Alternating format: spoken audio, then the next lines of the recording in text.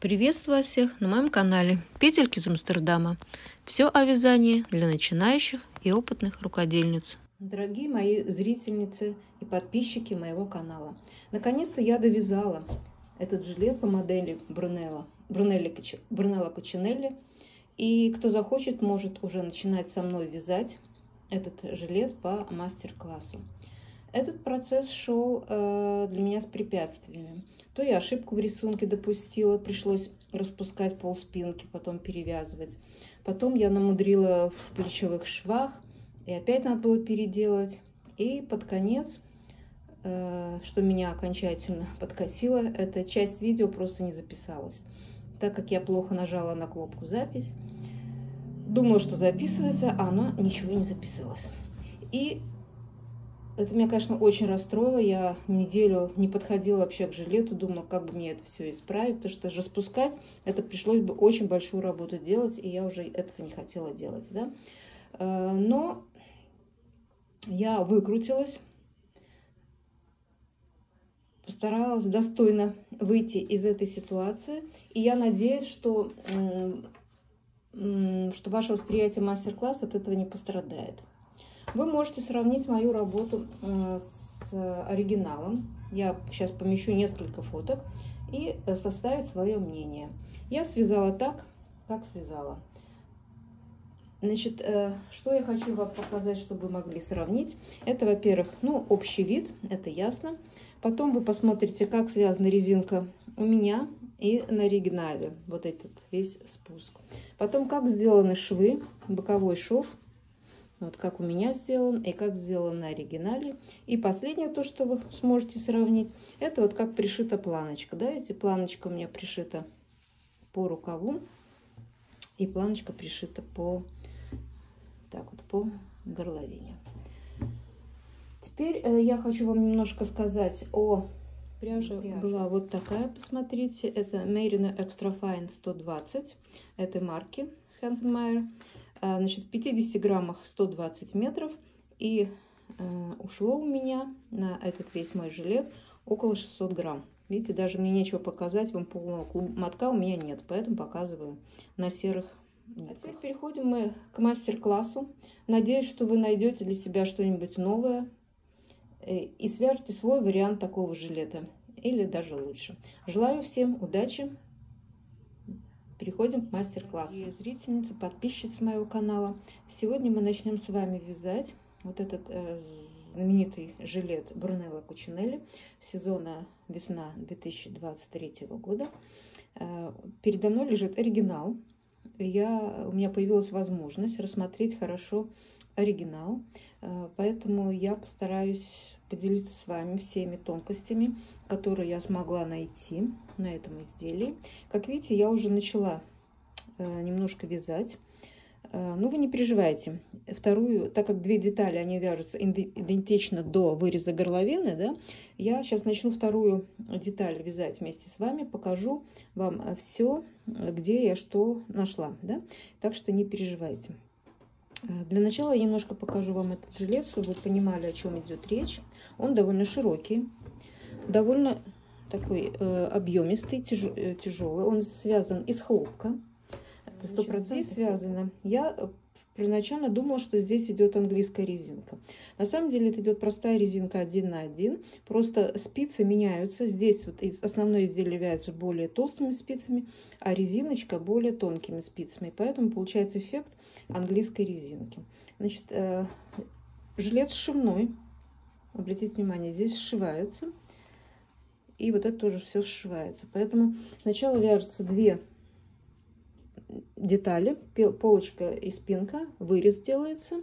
Скос по плечам. Потом отдельно вывязывается вот эта планочка, которая идет по рукавам. И планочка по горловине. Она вывязывается отдельно. Поэтому начало планки отсюда опять идет набор петель. И вот здесь она просто пришивается. Так что вот идет оригинал и просто швом эта планочка пришивается. Поэтому я так тоже никогда еще не делала, но буду пробовать вместе с вами. Я думаю, что сложностей не будет, но просто будем учиться вместе. Э, что еще? Э, это у меня модель э, размер М. Она довольно широкая. Я сняла все размеры, с вами с вами поделюсь. Это на М-ку. Кто будет вязать S-ку, я думаю, что просто надо будет по, вот, по сантиметру вот здесь убрать. На полочке 2 сантиметра и на спинке 2 сантиметра сделать немножко поуже. Кто хочет вязать L-ку, наоборот, по сантиметру добавить. Но я так думаю, что будет все нормально. Вот эта М-ка я померила, мне она хорошо. Я ношу 44 размер.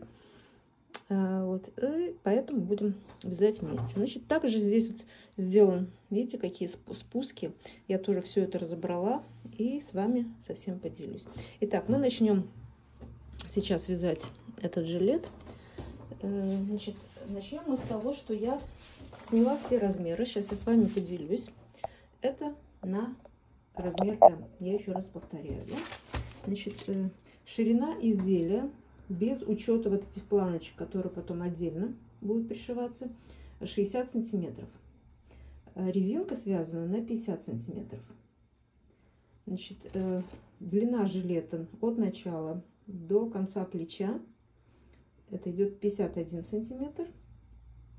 Значит, э, до того места, где будет пришиваться планочка, то есть вот этот шов будет сшиваться, и, то есть сначала пришьется планка, а потом этот шов вместе и захватывая планочку, он уже сшивается.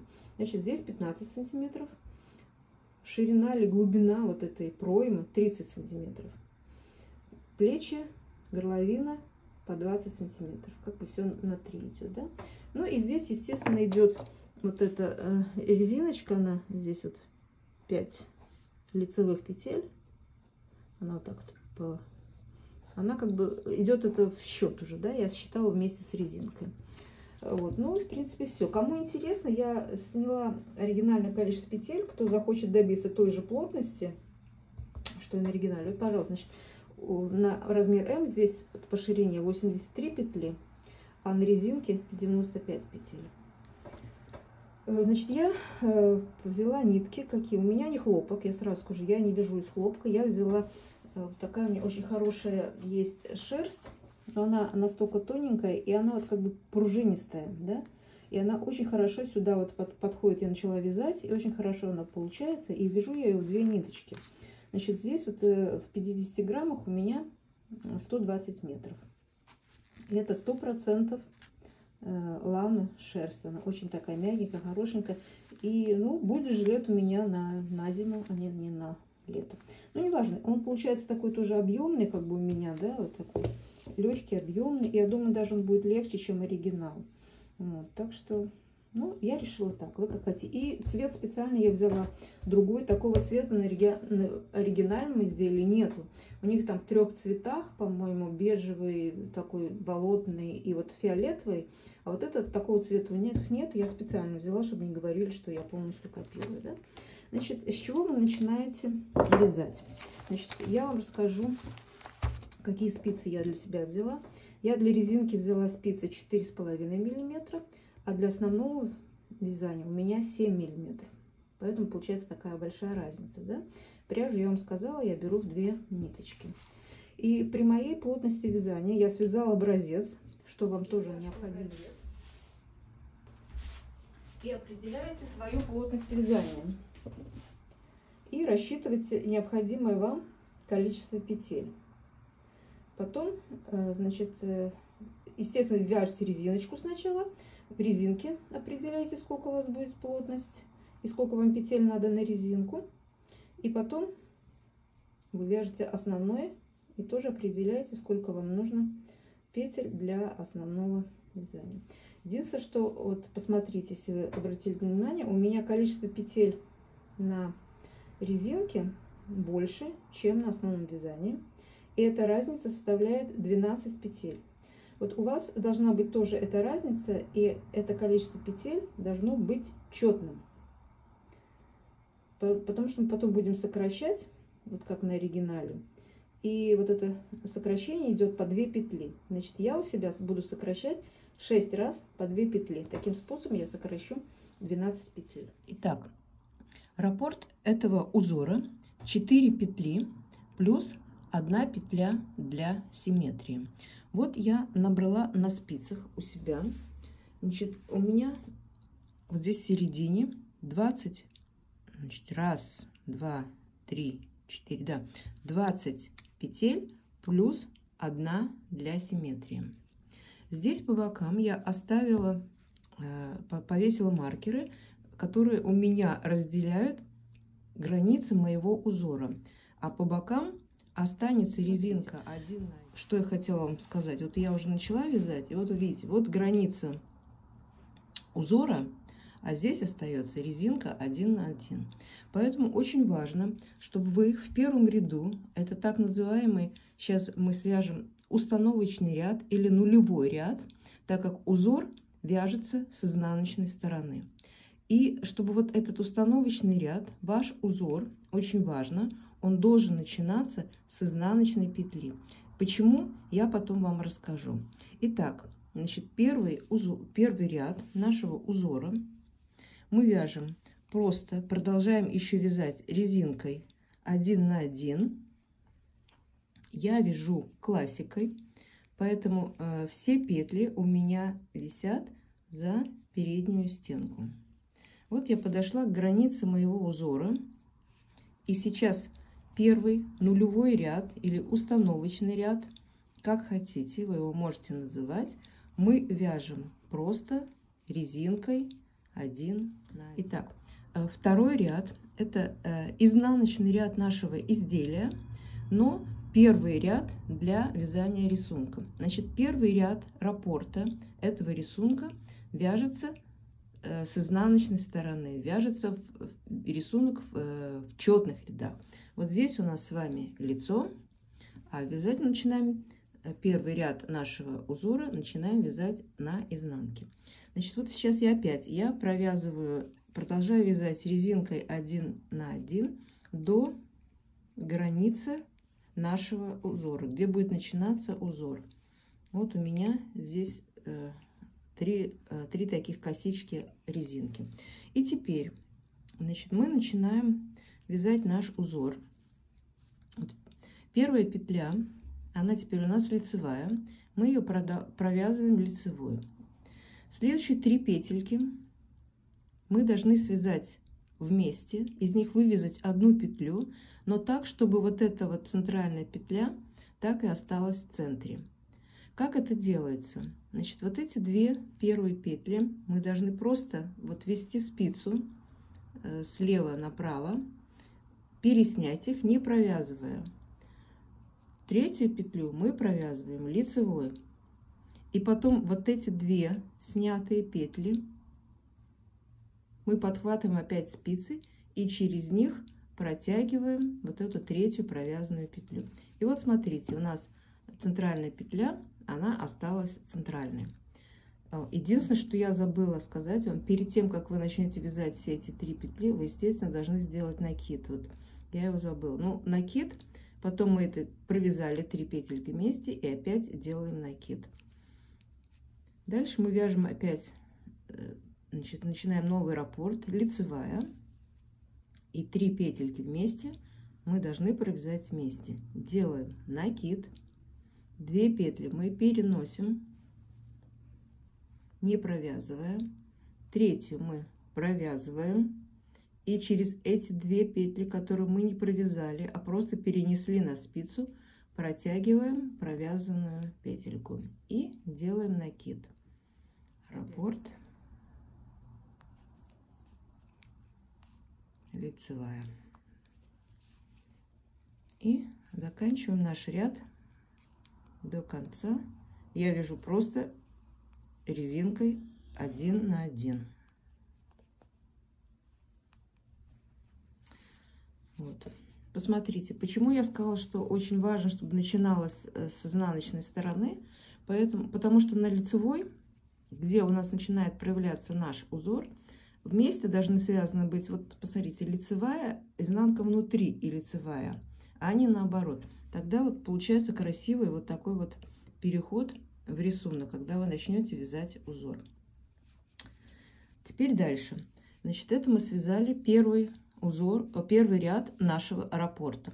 Второй ряд вяжется по лицевой стороне изделия, и он вяжется условно э, резинкой один на один. Сейчас я вам покажу, почему я сказала условно. Потому что изнаночная петля у нас вяжется изнаночной, а накиды мы будем вязать лицевой. Опять изнаночная, изнаночной, накиды лицевой. Итак, опять до конца ряда. Третий ряд нашего узора, он вяжется, еще раз повторюсь, с изнаночной стороны изделия. Значит, мы довязываем опять э, до маркера, до границы нашего узора резинкой 1 на 1. Теперь мы подошли э, значит, к нашему узору. И в прошлый раз мы собирали вместе вот эти три петельки. Да? Первую мы провязали лицевой и собирали э, следующие три петли. Теперь нам, так как у нас узор, если видите, вот он, он идет в шахматном порядке. Видите, красиво так, в шахматном порядке. Поэтому мы сейчас должны Э, значит, вязать тоже в шахматном порядке и перес, перевязать три петельки вместе. Не вот эти первые три, что мы делали, как мы делали в первом ряду, а сдвигаться. Поэтому, значит, мы, э, центральная петля у нас сейчас будет вот эта первая, лицевая. Но так как у нас э, здесь нету трех, у нас только две, мы в начале ряда провяжем только вот эти две петельки вместе и сделаем накид. Так как у нас две петли, значит, один накид. Когда мы вяжем 3 петли вместе, мы делаем 2 накида. Значит, мы провязали 2 петли вместе и накид. Это в начале ряда, в третьем ряду по рапорту нашего рисунка. Дальше мы делаем аналогично первому ряду. Провязываем лицевую просто и теперь вместе следующие 3 петли. Для этого мы делаем накид, не забываем, 2 петли просто переснимаем, третью провязываем и через эти две петельки протягиваем к концу ряда. Теперь у нас осталось здесь 2 петли только, да? Так же, как было в начале. Что мы делаем? Мы делаем накид и вот эти две петельки вместе провязываем лицевую. Вот так мы делаем, когда у нас сдвиг... сдвинуть надо немножко в шахматном порядке. Это в третьем ряду нашего рапорта. Теперь мы переснимаем маркер и опять провязываем нашу резинку 1 на 1 просто до конца.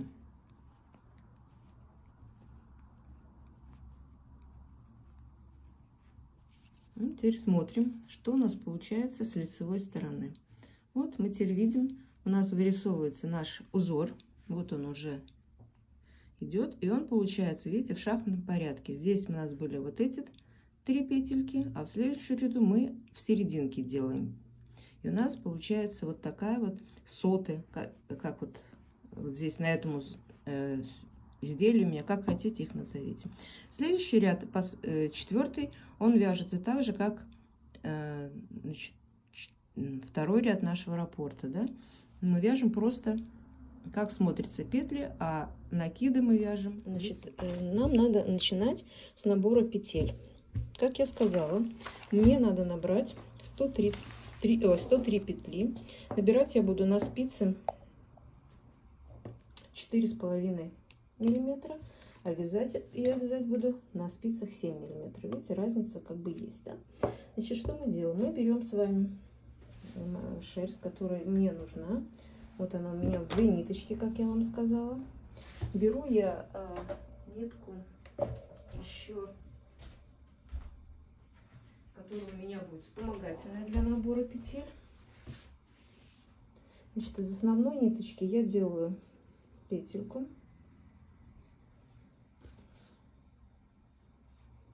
Надеваю ее на спицу. Беру основ... дополнительную ниточку. Вот и как придерживаю вместе. Теперь, значит, основную нитку не ту взяла. Надо, не тот хвостик взяла.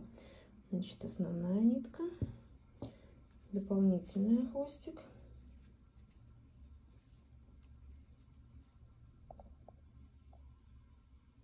Теперь основная ниточка идет у меня на указательный палец, а дополнительно идет на большой палец. И первое, что мы делаем, мы делаем накид из основной ниточки от себя. Накид. И потом провязываем петлю с использованием уже дополнительной нитки. Вот таким образом. И вот эту ниточку дополнительную все время должна вот здесь подтягивать, чтобы она была внизу моей спицы. 5 накид и провязываем. Накид и провязываю. Накид и провязываю. Я специально сейчас не показываю все очень медленно, потому что очень много времени займет, потому что я э, набор петель сняла отдельное видео именно для этого жилета. Поэтому вы посмотрите это видео, как я делаю петли. А сейчас я значит, набираю необходимое количество нам петель. Вы его тоже, наверное, рассчитали себе. У меня это, значит, 103 петли, как я сказала.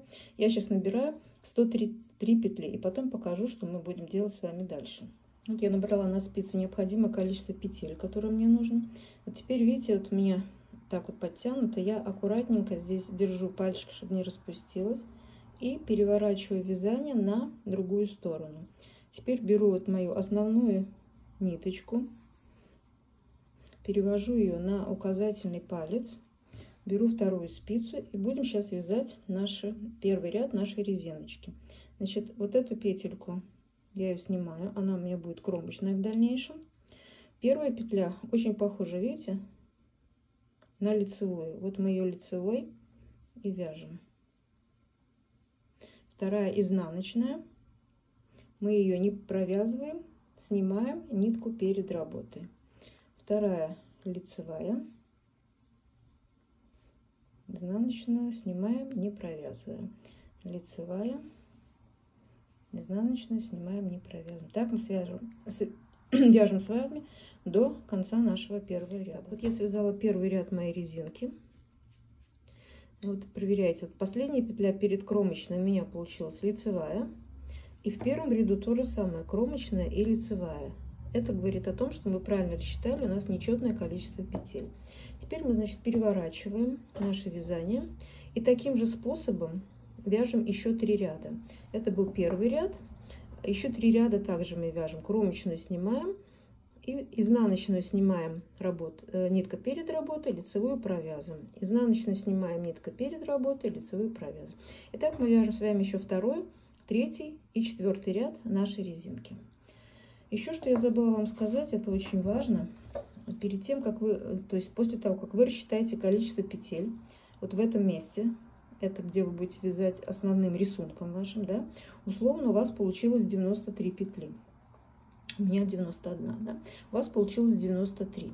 Вы должны э, отнять количество петель, которые уходят на резинку. Вот здесь вот сбоку у нас будет проходить резинка 1 на 1. Э, значит, а, она занимает 10 петель резиночка и одна кромочная. Значит, 11 петель с одной стороны и 11 петель с другой стороны. Значит, от количества петель, которые вы получили, вы отнимаете 22, 2, два раза это резиночка, у вас получается 71. Э, значит, к, раппорт нашего рисунка 4 петли плюс 1 для симметрии. Значит, вот эту одну для симметрии мы отнимаем, получается 70. И вот это 70 должно делиться на 4. То есть вот это число, которое здесь получится, должно делиться на 4. В данном случае 70 на 4 не делится. Это или 68, или 72. Поэтому вы смотрите сами. Если вы хотите, вам надо чуть повуже, можно взять 68. Тогда, значит, в обратном порядке вы берете 68 плюс 1 для симметрии. И получается 69 петель. Плюс 22 резинка. И получается сколько? 91 петля. Вот это 91 петля, в данном случае правильная. И я, у меня тоже так получается вот это. Вы могли взять не 68, а взять 72 петли. Тогда наоборот будет 72 плюс 1, 73. 73 плюс 22, и у вас будет 95 петель. В общем, вы хорошо посчитайте, чтобы раппорт у нас укладывался. Значит, от этого числа, которое вы рассчитали, вы отнимаете 22 две резинки, потом отнимаете одну петлю для симметрии, и вот это полученное число должно делиться на 4. Вот вы его скорректируете, чтобы оно делилось на 4 потом прибавьте опять одну для симметрии и прибавьте 22. И получится искомое количество петель. Вот 91 в данном случае. Это все, что я хотела сказать, то, что я забыла сказать. Это очень важно. Но сейчас мы продолжаем делать ваш, с вами резинку. Второй, третий и четвертый ряды. Потом с вами встретимся. Все, я провязала свои 4 ряда. Теперь что мы можем сделать? Мы можем вот эту ниточку, которая у нас дополнительная, мы просто ее тянем. И посмотрите, как она легко просто вышла. Все, она нам больше не нужна. Так, теперь наша резинка. Вот видите, как она красиво смотрится. Это наши 4 ряда. Теперь мы начинаем вязать простую просто резинку один на один, уже не, не снимая петли, а просто вязать резинку один на один. И условно здесь вот у нас, видите, начинается ряд с лицевой петли, а наш лицевой ряд, когда мы уже начнем вязать рисунок, должен начинаться с изнаночной петли, да, потому что, посмотрите, здесь наша вот эта резинка один на один, она должна быть изнаночная лицевая, изнаночная лицевая, изнаночная лицевая, и так 10 петель, и заканчивается лицевой. Значит, ряд у нас должен начинаться с изнаночной петли, ну и плюс кромочная. Поэтому сейчас мы провяжем количество петель необходимое, вот по, то есть количество рядов необходимое по высоте резинки. Я посчитала, это надо связать всего 11 рядов. Значит, у меня 4 ряда я еще уже провязала. И теперь мне осталось связать еще 11 рядов. Значит, я сейчас условно начну. Э, значит, 4 я провязала. Значит, еще 7 рядов мне надо связать. Значит, один ряд сюда. И потом три раза туда-сюда. Короче говоря, чтобы э, у нас наш ряд, когда мы начнем переходить на рисунок, начинался, э, должен начинаться с изнаночной петли. Так что давайте, сейчас мы вяжем высоту резинки Э, который необходим, да, и потом мы с вами вот сделаем вот эти вот убавления, чтобы они красиво смотрелись все, и перейдем на вязание рисунка. Ну вот я связала необходимое количество рядов для моей резинки. Вот если сравню с другой деталью, вот у меня получается, видите, то же самое. Значит, теперь что мы должны делать? Как я вам сказала, ряд должен начинаться у меня с изнаночной, так как кромочная одна, и потом 10 петель это идет на нашу резинку, которая тут будет идти по краю. Значит, 10 петель начинается с изнаночной, заканчивается с лицевой. Также с другой стороны, зеркальное отображение начинается с лицевой 10 петель, заканчивается изнаночной и кромочной. Вот здесь я повесила маркеры, чтобы не путаться, где у нас начинается резинка. Так будет легче. Потом здесь я повесила маркер, чтобы знать, где у нас лицевая сторона. Потому что для нач... Э, поначалу немножко придется как бы так напрягаться, потому что рисунок у нас вяжется в четных рядах, да, как бы с изнаночной стороны. Мы его будем вязать, а на лицевой он будет появляться. Вот. Ну, поэтому я повесил маркер, чтобы не путаться. И вот у нас мы начинаем сейчас первый наш э, лицевой ряд нашего изделия. Это будет лицевой. Поэтому здесь рисунок еще мы не вяжем. Вязать рисунок мы будем с изнаночной. Сейчас что нам надо сделать? Нам надо вот эти вот, видите, здесь, там, где три вместе, это не сокращение. Это вот как раз начинается рисунок с, изнаночной стороны, где мы провязываем три вместе, а по бокам делаем накиды. А вот здесь вот, вот если видите, здесь идет 5 петель вместе как бы переходит. Значит, вот в этом месте мы 2 сокращаем. Здесь то же самое. Значит, сначала мы вот эти сокращения по 2 петли сделаем, а потом с изнанки начнем вязать рисунок. Значит, как нам правильно рассчитать? Вот я не знаю, какое количество у вас. У меня, значит, если помните, значит, где мой Сейчас, секундочку. Вот мое количество петель. Значит, у меня резинка 103 петли. Основное вязание у меня 91 петля. Значит, у меня разница 12 петель. Значит, я буду сокращать 6 раз по 2 петли. Значит, теперь небольшие расчеты, чтобы было все у нас равномерно. Вот здесь мои 103 петли. По бокам 11, два раза по 11 петель, это резинка, да? 10 петель резинка плюс кромочная. И здесь 10 петель резинка плюс кромочная. Значит, 103 петли. Отнимаем 20, вот эти 22 и получается 81 петля. Вот на э, вот этих 81 петли я должна сократить 12, и чтобы было равномерно. Так как я сокращать буду из трех петель, вот здесь, посмотрите, значит, вот внизу, вот из трех петель, видно, я буду вывязывать одну. Значит, 6 э, раз по 3 петли я из моего расчета сейчас отниму. Значит, 8, 1 минус 6 раз по 3 мне надо будет, это 18. Останется у меня 63 петли. Так как сокращать буду 6 раз, но э, расстояние, эти, пространство мне надо 7, да, потому что один сбоку, с двух сторон. Значит, всего у меня раз, два, три, четыре, пять, шесть, семь. Значит, вот этот остаток 63 петли я разделю на 7, у меня получится 9. И посмотрите, как равномерно у меня распределилось. Значит, 9 петель, 3 вместе. 9 петель, 3 вместе. 9 петель, 3 вместе. И так до конца. Я сокращу раз, два, три, четыре, пять, шесть. Шесть раз по 2 петли. Если из трех, я вывяжу одну. Значит, сейчас мы это с вами проделаем. Причем вот эти, это у нас середина, естественно. Значит, три раза мы будем сокращать 3 петли вместе провязывать с наклоном к центру. С этой стороны тоже с наклоном к центру. Да? Вот посмотрите, сейчас вот мы начнем. Я первый покажу, как мы это делаем. И вам будет все понятно. И этот еще последний ряд мы провязываем на спицах, которым мы вяжем резинку. Значит, э, так, мы провязываем вот эту нашу резинку, которая у нас идет по бокам. Это у меня 11 петель.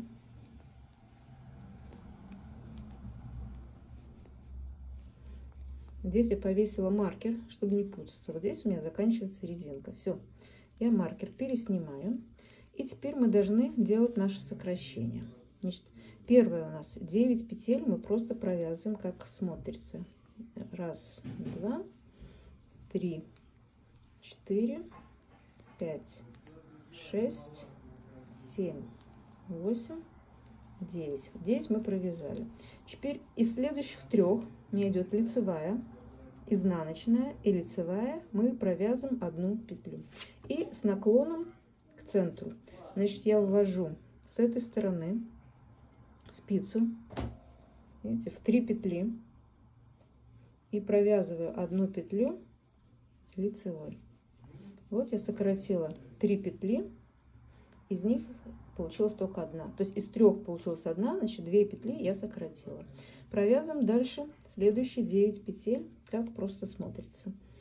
Как резинка идет. Раз, два, три, четыре, пять, шесть, семь, восемь, девять. Подошли мы к следующему сокращению.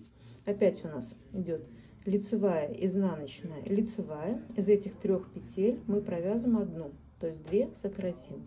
И будем опять с наклоном к центру. Опять я ввожу спицу в эти три петли и из этих трех провязываю одну. Вот мы сделали второе сокращение. Теперь у нас следующее. Опять 9 петель. Раз, два, три, четыре, пять, шесть, семь, восемь, девять. Еще хочу вам сказать, если у вас вот, вот здесь, в данном месте, не получилось ну, не разделилась поровну на 9, вот этот остаток, который, скажем, там получилось чет количество петель плюс какой-то остаток, вот этот остаток добавьте в середину, чтобы здесь было поровну, а в середине будет немножко больше или меньше наоборот, да, неважно. Значит, последнее, третье сокращение мы делаем с наклоном к центру из трех петель. Одну, все. Вот мы сейчас вот это вот все сделали. Три раза мы сократили. Теперь мы вяжем центровые 9 петель. Раз, два, три, четыре, пять, шесть, семь, восемь, девять. И теперь я должна сократить вот эти три раза по три 3 петли вместе, из них одну, но уже с наклоном тоже в центр, к центру, но это будет наклон уже в другую сторону. Значит, вот эти три петли, я теперь не отсюда захожу, а наоборот отсюда. Вот я ввожу спицу в 3 петли и провязываю ее из них одну. Видите? Теперь у меня получается с наклоном, значит, здесь, если было с наклоном влево, то здесь с наклоном вправо. Итак, мы довязываем с вами ряд до конца. Еще делаем два сокращения, провязываем резиночку. И здесь в конце ряда мы с вами встретимся. Ну вот я все свои сокращения сделала. Этот последний у меня был как бы э, резинка. Теперь мы переходим уже с изнаночной стороны на вязание рисунка. Значит, вы обратите внимание, что рисунок тоже, видите, у нас, э, когда мы начнем первое сокращение делать, они должны вот с лица смотрится лицевая, изнанка, лицевая. А с этой стороны, где мы начнем вязать, нам надо будет наоборот 3 вместе петли, но изнаночная, лицевая и изнаночная мы будем вязать вместе. Ну, сейчас я покажу, как это делать, чтобы все красиво у нас получилось. Значит, теперь что? Мы поворачиваемся на эту сторону. Теперь мы должны поменять с вами спицы на те спицы, которыми вы будете вязать свое основное полотно, да. Значит, вот у меня другие спицы. У вас или другой комплект, или так же, как у меня, вы можете просто перекрутить спицы, да. Значит, я вот эту спицу, которой я буду работать, я меняю на более толстую. Начну ей работать, и когда у меня ряд дойдет до конца, я поменяю вторую спицу. Так, теперь, значит, мы начинаем наш первый ряд который идет по рисунку. Очень важно здесь не спешить, э, аккуратненько вязать, потому что я как бы на, на эти грабли уже наступила, я немножко поспешила и в одном месте неправильно, ну как бы не поменяла шахматный порядок и провязала один ряд как бы два раза. И сразу это не заметила, и потом мне пришлось распускать сантиметров 15 чтобы вернуться, потому что ошибка, ну, явно была не очень, ну, не очень красиво, была совсем некрасиво. Поэтому очень внимательно, да. Значит, давайте мы сейчас начнем немножко, потом уже будем работать самостоятельно. Значит, мы провязываем сейчас резинку до нашего маркера. Это у меня, значит, наши 11 петель.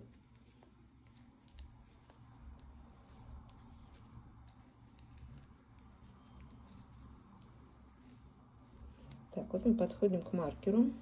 Все, эта резинка у нас закончилась который у нас будет по краям идти. И здесь мы начнем вязать уже рисунок. Значит, рисунок, как я сказала, нам надо петли, э, значит, изнаночная, лицевая и изнаночная вместе вязать. Значит, первую лицевую мы провязываем просто лицевой, так как у нас раппорт 4 петли. Вот она лицевая. А вот эти три вместе мы с вами вяжем вместе. Значит, делаем накид. Потом 2 петли, мы просто их вот так заводим с этой стороны, переснимаем, вяжем лицевую и вот назад возвращаем. И не забываем делать накид. Это у нас на раппорт 4 петли. Теперь опять лицевая, накид, 2 снимаем, третью провязываем и вот эти через эти две протягиваем третью. И не забываем делать накид. Вот второй раппорт. Итак, мы довязываем с вами до конца ряда, до нашего маркера. Вот первый ряд нашего рисунка я связала. Это как бы я еще раз повторяю с изнаночной стороны, так как рисунок у нас будет появляться здесь. Вот посмотрите, перед маркером у меня лицевая петля, и здесь перед маркером у меня тоже лицевая петля. Значит, у меня рисунок получается симметричный. Теперь мы разворачиваемся на другую сторону это наше лицо, да. Я не забываю, если у вас другой комплект спиц, вы просто их поменяли, я не забываю, снимаю вторую свою спицу, меняю ее на более толстую. И теперь мы с вами вяжем второй ряд, это уже с, лицо, с лицевого, ну как бы с лицевой стороны нашего изделия. Второй ряд нашего рисунка, значит резинку 1 на 1, а здесь дальше вяжется так, как смотрятся петли. Значит, изнаночная вяжется изнаночной, накид вяжется лицевой. Изнаночная, изнаночная, накид лицевой. Итак, мы провязываем весь наш вот этот ряд. И встретимся, когда надо будет вязать опять рисунок с изнаночной стороны. Так как раппорт нашего рисунка 4 ряда, я вам покажу. Мы сейчас связали первый, сейчас этот свяжем второй, третий ряд я вам покажу, как вяжется, и четвертый. И потом опять будем начинать с первого ряда. Так что давайте я сейчас довяжу ряд до, до конца и покажу вам, как вяжется третий ряд. Третий ряд. Значит, опять мы его вяжем с изнанки, да? Значит, э, очень важно, чтобы здесь вы не запутались. Вы или себе записываете, когда вы какие петельки здесь по три вяжете, или я сейчас покажу, как это увидеть. Но здесь надо очень внимательно, я еще раз повторюсь, каждый раз, когда вы начинаете вязать вот этот ряд, где перекрещиваю, где петли все вместе, по три петли вместе надо вязать, да, вы всегда проверяете, те ли вы три петельки вместе вяжете. И если у вас, значит, чередование в шахматном порядке. Это очень важно. Так, вот смотрите. Вот мы подошли сюда. И вот видите, мы в прошлый раз, вот мы здесь вот даже можно пощупать, вот мы делали перекрещивание здесь, вот здесь плотненько, да, вот как бы вот эти три петельки. Теперь нам надо делать перекрещивание вот здесь, наоборот, вот три петли, если бы они были три. Здесь у нас сейчас в начале только две петли, это только в начале ряда. Значит, э, так как у нас их всего две, а не три, значит, нам нужен только один накид. И в данном случае, вот когда сейчас нам надо здесь сделать, мы провяжем их две вместе и сделаем накид. Все, у нас сохранится. И теперь начинаем вязать дальше по рисунку. Значит, лицевая. И теперь вот эти три вместе. Две переснимаем и перетягиваем их. И не забываем делать накид. Опять лицевая, накид, 2 вместе переснимаем и протягиваем через эти три. Вы поняли, да? Значит, в начале ряда мы сделали 2 вместе и один накид. Это как бы пол раппорта наших, чтобы получилось в шахматном порядке. И потом продолжаем наш раппорт. Лицевая, 3 вместе, 2 накида между лицевая, 3 вместе, 2 накида вместе. Так мы с вами довязываем до конца ряда. И в конце ряда сейчас я вам тоже покажу, как мы это сделаем. Я подошла к концу ряда. Значит, у меня вот эту я провязала лицевую. Теперь я делаю накид.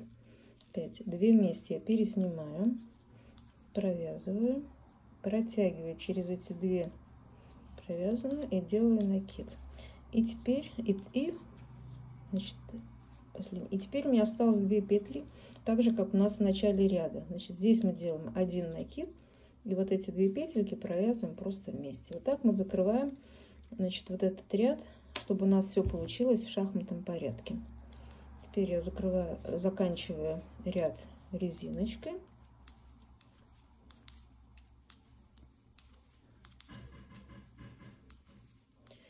Это был у нас третий, узор, третий ряд по нашему узору, третий ряд нашего раппорта. И четвертый ряд мы вяжем как бы с, с лицевой стороны нашего изделия. Опять вяжем так, как смотрится петли. Да, вот смотрите. Значит, изнаночная, изнаночная, накид лицевой, изнаночная, изнаночная, накид лицевой. И провяжем четвертый ряд.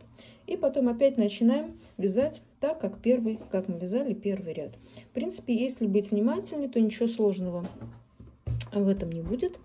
Вот мы закончили с вами сейчас очень э, важную, но довольно трудоемкую, начальный, э, начальный трудоемкую, трудоемкий начальный этап, трудоемкий этап нашей работы, как мы начали вот вязать.